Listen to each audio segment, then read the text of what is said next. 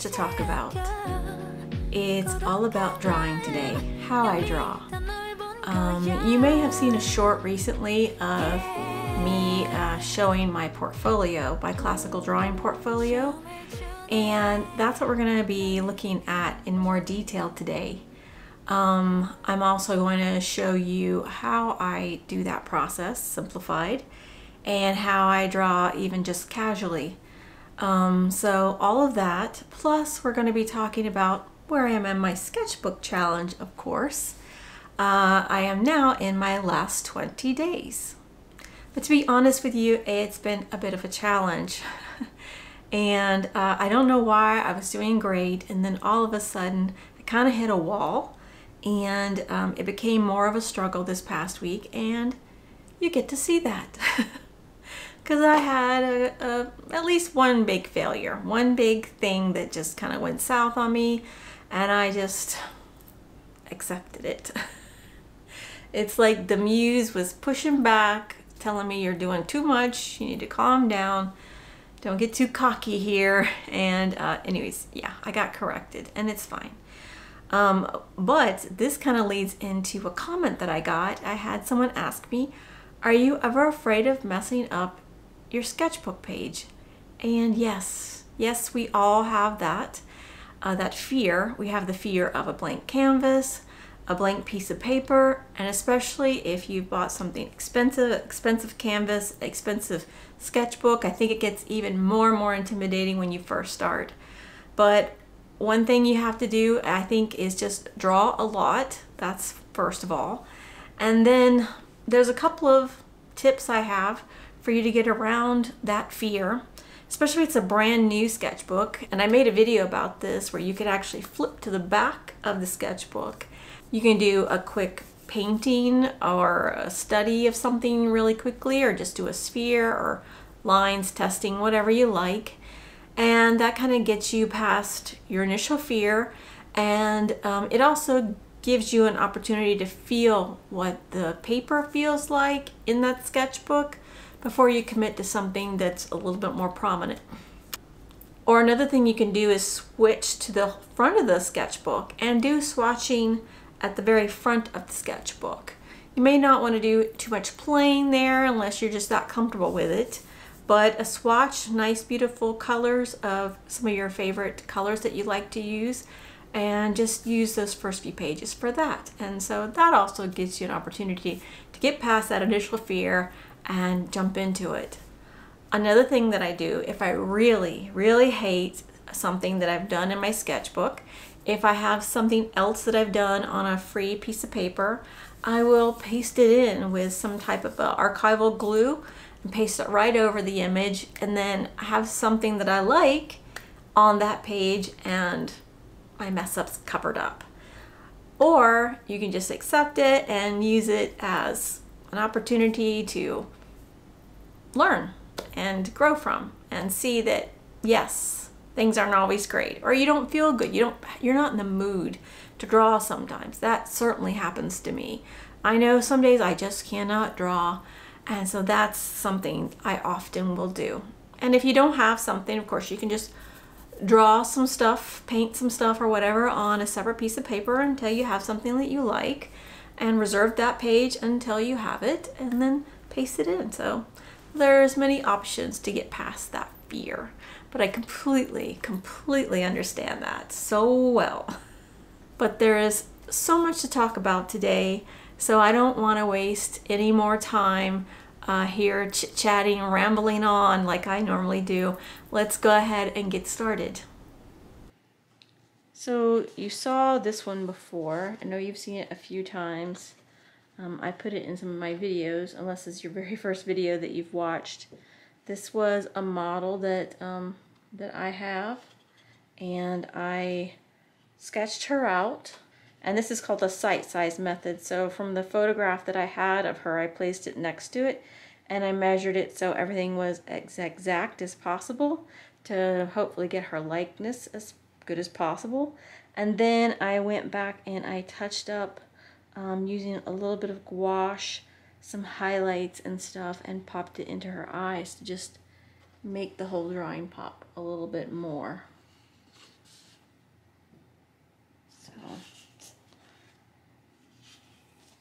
this was another drawing I had done of someone that I know that um, I really loved her hair and her bun and she's um, she's Indian, so she has uh, lovely features. Very elegant lady. And um, I just really wanted to make sure I got all the shadings in her and her darker skin tones and um, the value as as her face turned away from the light the window was behind her um, that's why it kind of looks like it's lighter on this side moving into a darker range and I feel like I got uh, a really lovely interpretation of her this is also another study I did of my model and um, let me see if I can maybe zoom this out just a little bit. It's maybe about the 11 by 17 range. So I'll bring it in so maybe you can see some of the details. Trying to work out all those values on her back. And then actually this background here was just a, a made up scene of Florida with palm trees and that sort of thing. I'm sorry if I'm kind of wobbling this around because I want to be able to pick it up and show you everything.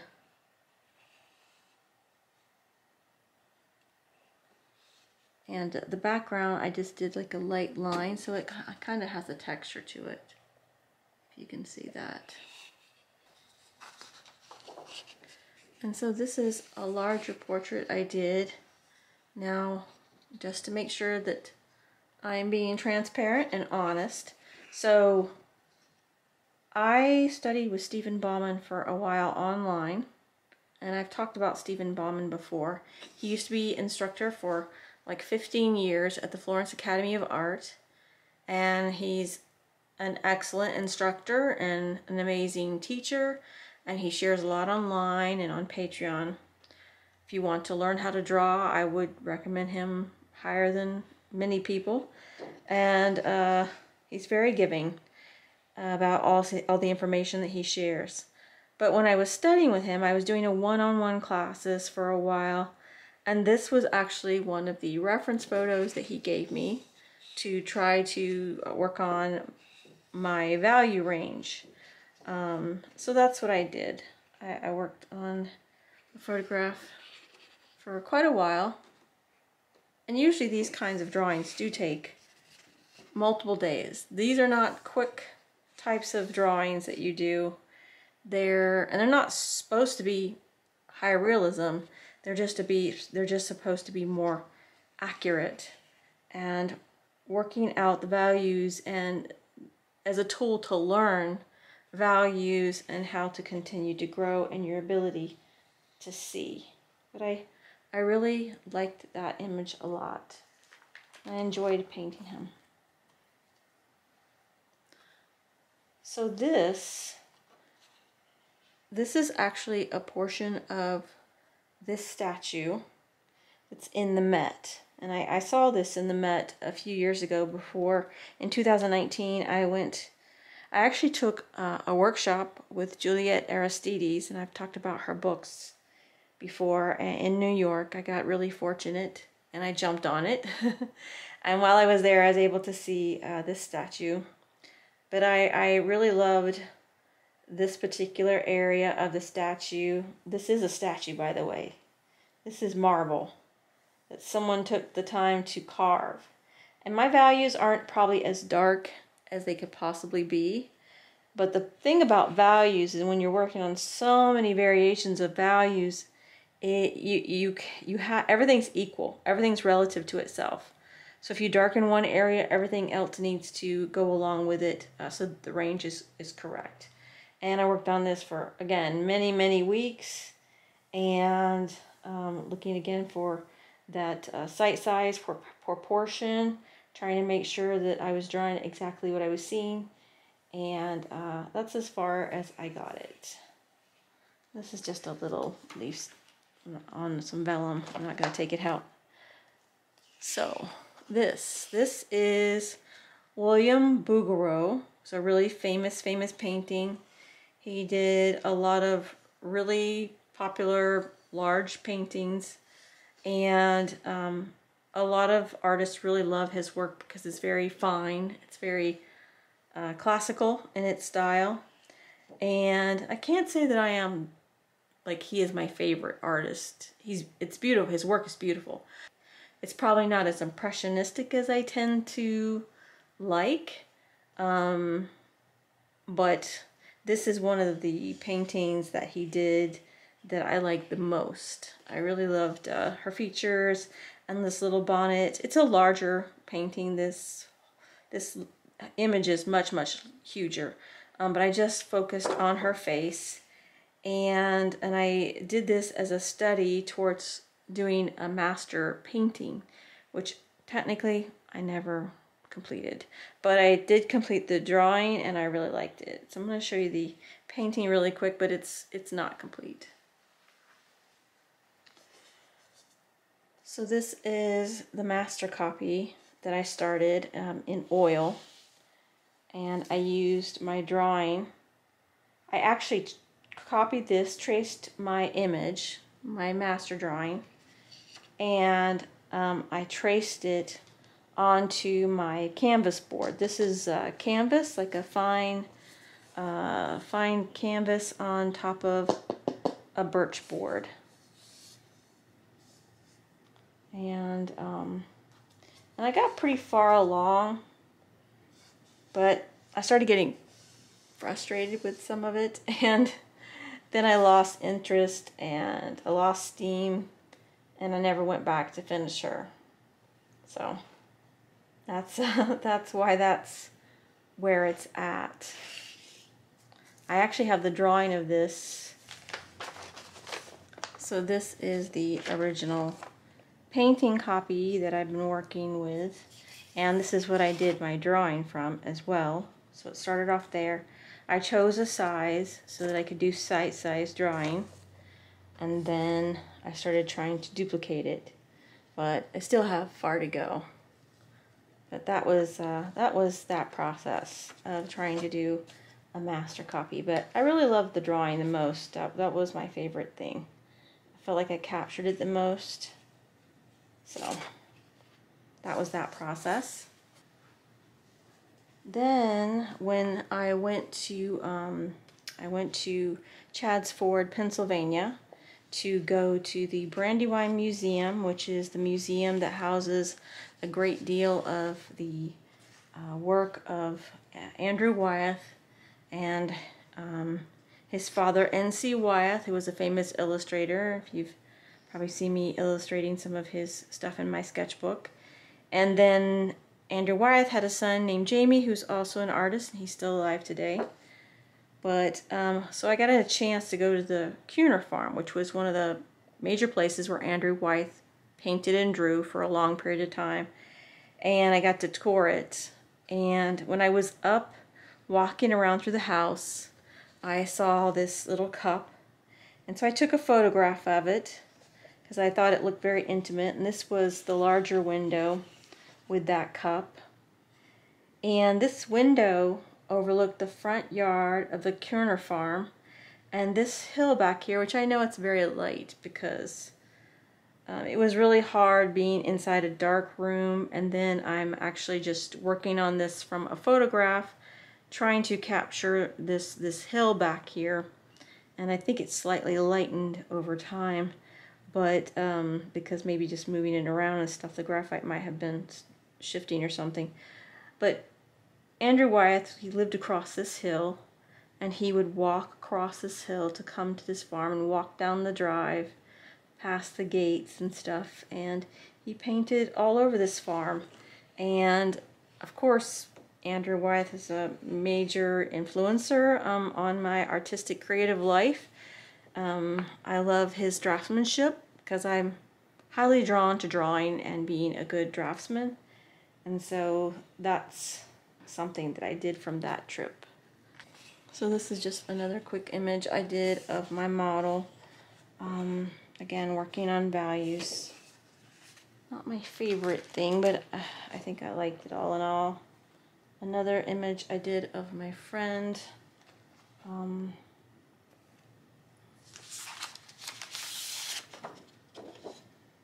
and I like the I like the overall composition of this particular drawing, but sometimes I'm not 100% sure how I feel about it still.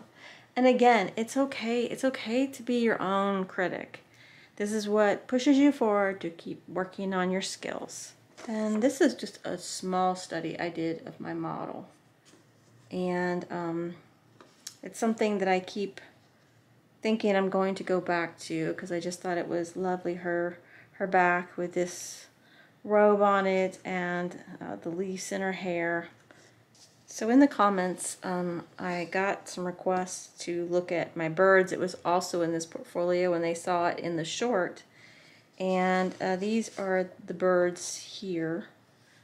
They're just little studies. They're more on the illustrative side, I think, possibly. Um, but what I did was I used graphite. I came back with a little bit of white charcoal and then a little bit of gouache to get some of the brighter whites that I wanted in here and in his eye so it glinted. That's a tufted titmouse by the way and this is a little oven bird that I did. I did the same process again using the white charcoal and um, uh, some a slight little bit of gouache. And this guy is a brown thrasher and again, I did the same process, but this one probably looks the most illustrative in its style. And it maybe because I added this extra ring of white, which I think I would have preferred it had I not done that particular step. So to talk about the basics, I thought I would use Juliet Aristides' book on classical drawing. I introduced this book before um, when I was talking about different books that would be helpful.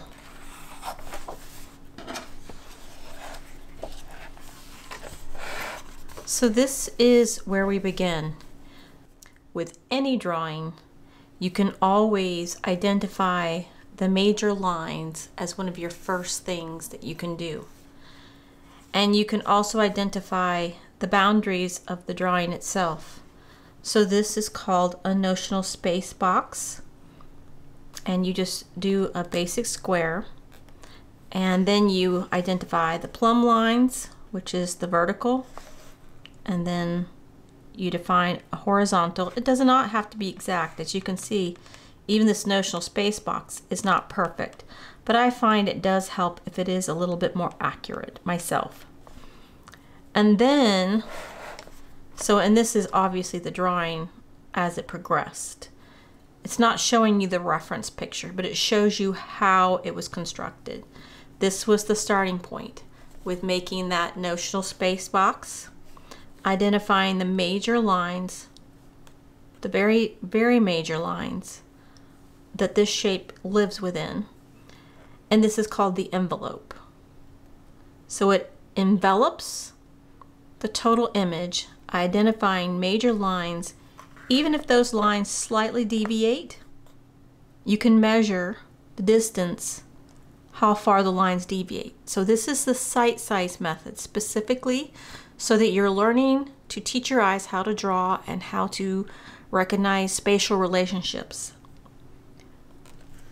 And you don't always do this unless you're doing something really, really specific and accurately drawn.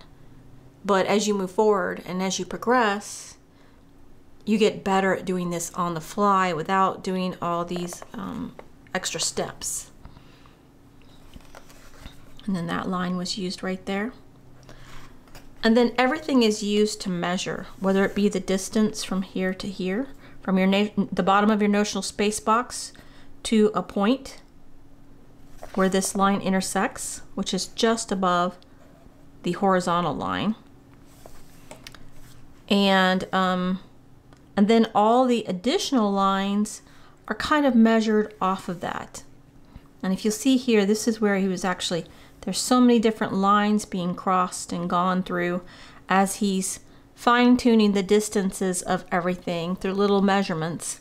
And then it gets erased back and then you get the final overall outline before you start working on the shading. That's the next step.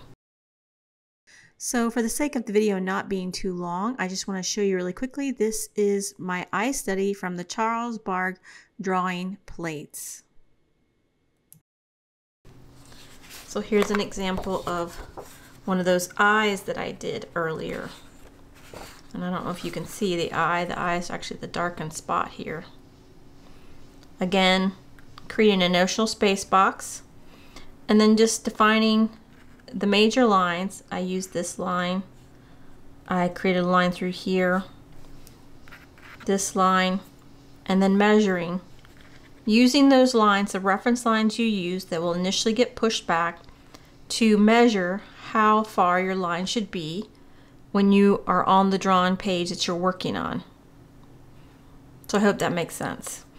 It can be a little confusing, a little intimidating at first until you get used to it. You could probably easily find the Charles Bargue eyes plate if you just Google it. This is that same method actually shown in the Charles Bargue plate, which I did this foot as well. You can see where they created a plumb line. For some reason, they decided the plumb line should be here, being maybe the highest point uh, in the actual image itself. And then creating the major lines. See how curved this is here? but as a general reference, they just drew a straight line through it. And then once you have your straight line, you can identify how far the distance is that all these slight adjustments away from that reference line actually are. Just like right here. Here's a longer reference line.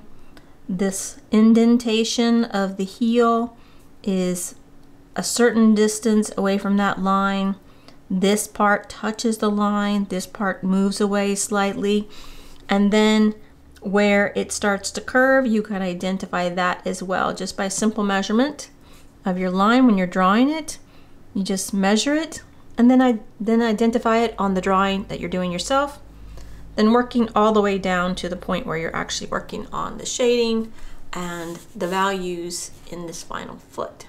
So he tells you the steps. And so if you happen to have a Bargue plate, the one thing I would tell you as a tip is please make sure that if you start measuring, measure off of the final image, not the initial image, because sometimes these things, these things are hand drawn initially and there's small variations.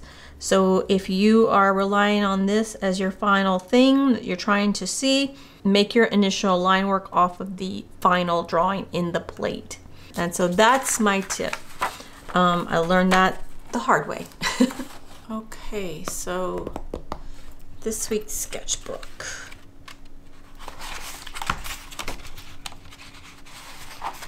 So you probably remember last week we did this pair. And the day that I edited and published I also did another Joke Frima page.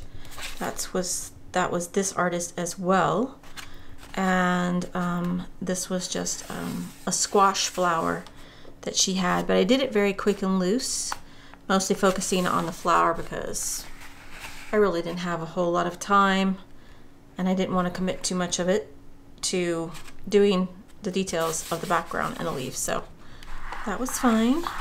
And then I had this, I did this radish. Um, it's not much.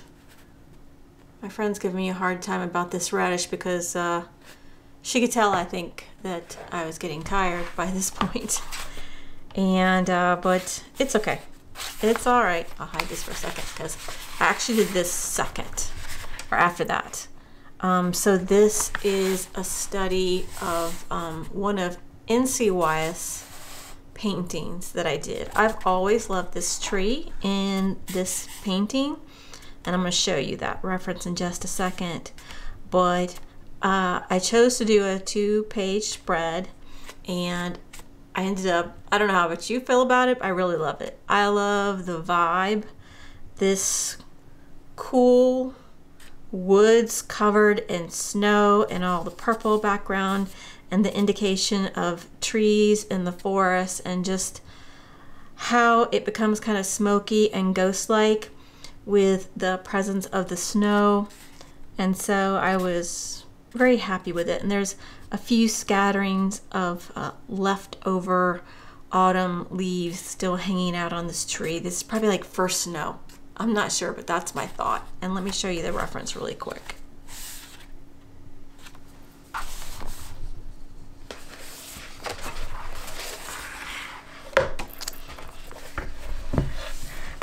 So this is the reference image I used.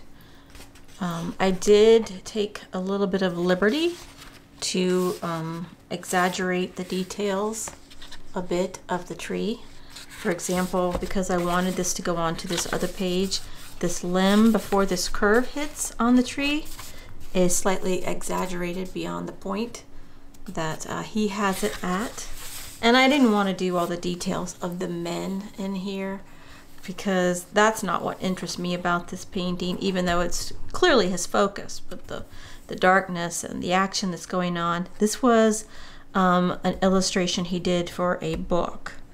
So, um, but these trees back here, that tree has always struck me. I've always, I love trees anyways, to be honest with you. And I did try to do this tree before in a painting and it didn't go well. I mean, I think I was newer to painting maybe when I tried that. And um, because um, technically I've only been painting with oils, for example, not in watercolors. Just I've always done um, watercolors and uh, a little bit of acrylic, but not very much. I ne never felt very confident with paints until I was about 35 to be honest with you. And that's when uh, I went to a major exhibit for Tom Thomson in Canada. I've mentioned him before. And when I saw his paintings I decided to get over my fear of painting. I've always drawn and uh, started painting. So it's only since I was 35 that I've been technically painting painting like especially in oils and so I had tried to do this tree and I did not like it but this little version I did in watercolor and acrylic quickly in my sketchbook for that day's challenge. I really, I'm really very pleased with it, in case you can't tell. I, I really love the vibe of this particular page. So anyways, that was that. He's such an amazing illustrator. I'll let you see this up close. I mean, look at that tree. That is that tree is just gorgeous. and see the autumn leaves? It's not exactly, I didn't place them exactly the same place. I just wanted to get the general vibe of that tree very quickly. So that's what I did that day.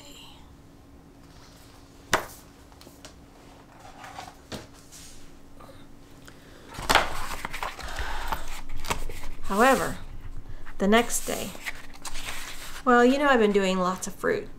I've been doing fruits off and on ever since I started. Fruits and vegetables, let's just say. So I was feeling pretty confident. And and I, I don't know what happened. I was tired, and so I got a yellow apple out of the fridge. I thought, oh, this will be good. This will be nice. I'm a little tired. Let me get this apple, and it flopped.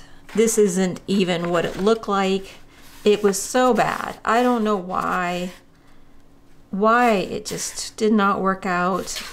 After I struggled with it and was getting really frustrated, I decided to quit. But then I just took some white gouache and went over it. I mean, maybe I'll go back later on and try it again, but I was so upset. And so, well, that apple, it's gone. I ate it right after. I was so upset. And then the next day, well, I went back into some vegetables again. And I did these vine tomatoes from the store that I got. I think they turned out fairly good. I got even the reflection of the white paper that I had put underneath it, reflecting back up onto the edge of the tomato like it was. You see a little bit right there too. And then I decided to try to do a drawing. So this was my attempt to draw one of Andrew Wyeth's versions of Helga in pencil. And I'll show you that now too. 잠시만요.